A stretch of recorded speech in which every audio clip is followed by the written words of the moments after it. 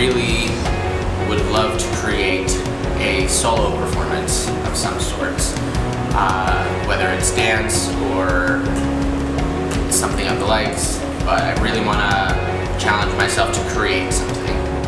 Um, I think I would like to continue on the path that I've been in and maybe formulate a website to get my services out there to other actors and personal goal, but to continue to work with actors and singers and other artists who are interested in working on voice and speech stuff. Um, honestly, I think it's uh, sort of the acting chops.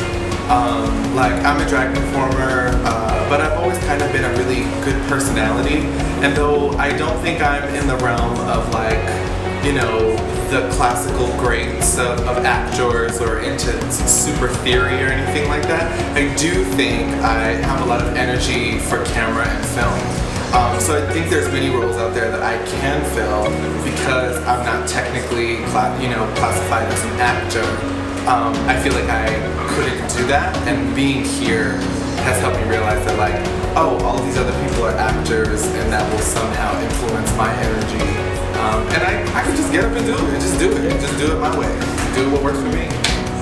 Use Collective being compared to Dumbledore's army for artists is just perfection. We all have different strengths and why not share them? I would describe it as just a really open and um, safe kind of environment where you can talk about what you've got going on and even if you don't know what your goal is, it's a good place to sort of throw ideas around and you might have an aha moment in there or later on because it's planting seeds for you. Um, I would say Muse is a constructive space for you to come and discuss uh, your obstacles as an artist, your goals as an artist, and then to really just experiment with what your process is and grow from that.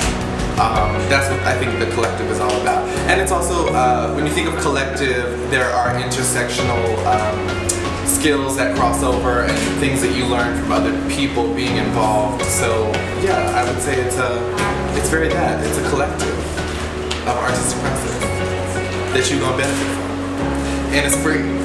So come through. And it's! That's a wrap. Yeah. Okay, okay, what?